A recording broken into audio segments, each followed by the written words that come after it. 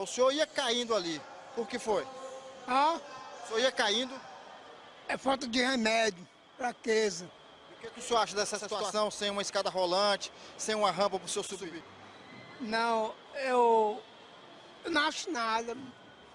É mais que a escada aqui, dá pra descer, graças a Deus. É, se só aqui na vesícula, na bacia, escopia. E se tivesse a escada rolante, seria melhor?